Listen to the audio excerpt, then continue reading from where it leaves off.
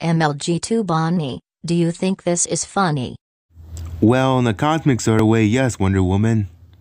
Well, Mr. Funny Rabbit, what the heck is this scene about me and the other Justice League members? What? It's just an ordinary scene about you and the other Justice League members. I mean, there's nothing wrong with. Oh my goodness! Teen Titans!